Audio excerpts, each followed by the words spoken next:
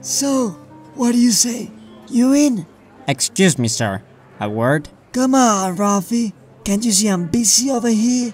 I know, sir, and I'm sorry, but I think that there are some undercover knights in this restaurant. What? Knights? What makes you think that? So how's your dinner, honey? Wrap it up, they caught us. You're so silly. What are you talking about? Shut up, it's over!